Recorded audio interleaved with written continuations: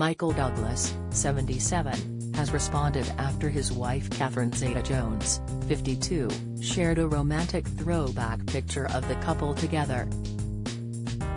In view of her 4.2 million followers, posted a photo from 1999 with Michael as they posed on the red carpet together. Catherine wore a strappy blue sequined gown, while Michael was dapper in a black suit with a bow tie. Nothing better than a date night hashtag TBT, she wrote, alongside a love heart eyes emoji. In view of his 1 million followers, Michael reposted the photo to his Instagram story. Love you at Catherine Zeta-Jones, he wrote, with a love heart emoji.